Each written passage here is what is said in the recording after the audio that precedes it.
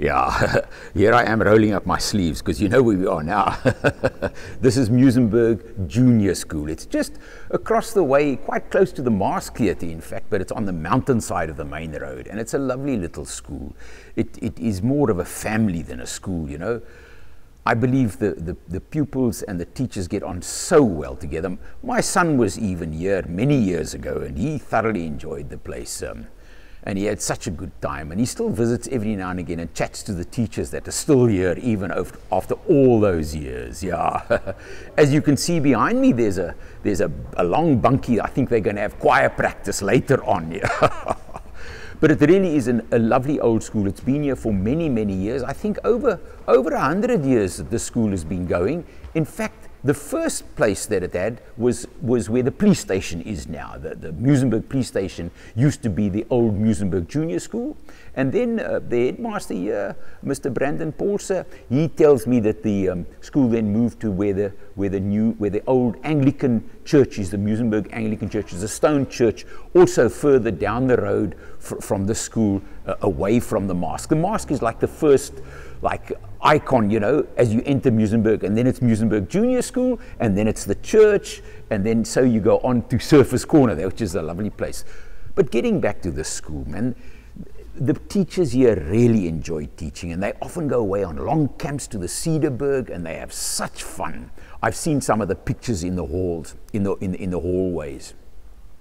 And, and they really teach with, with, with a smile on their face. Wherever you see the teachers here teaching, it's, it's, it's, it's happiness and joy. And, and I know the school children also love coming here. My son used to do gym in this very hall that we're now sitting in.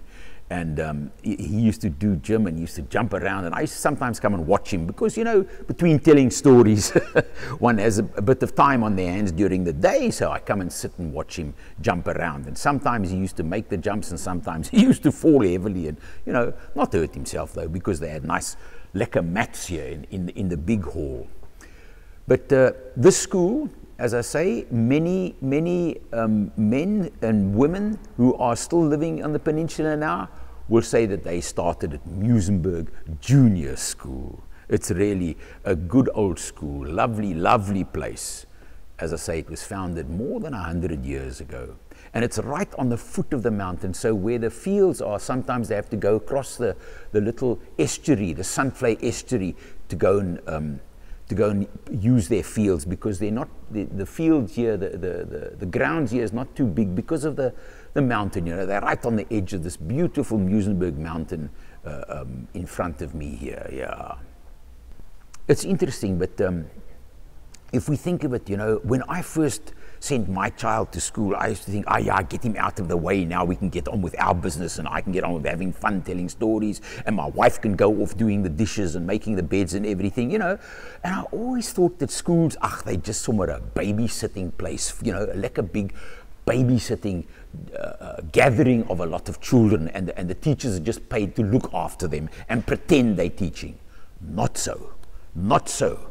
At here at Muizenberg Junior School, especially, not so. These teachers are creative. These teachers teach well. And education, especially the preschoolers, there's a little preschooler around the back here as well. The preschoolers, the youngsters, are really looked after well here at Muizenberg.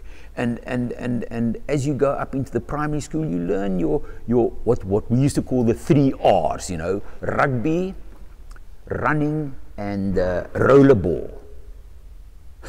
no, I'm only joking. No, no, no. It's, it's, it's arithmetic, writing, and I forget the third one. You know, I wasn't very educated. I, I, I can know addition and subtraction, but multiplication wasn't my strong point. So, so I only know two R's. But I know there are three R's, definitely.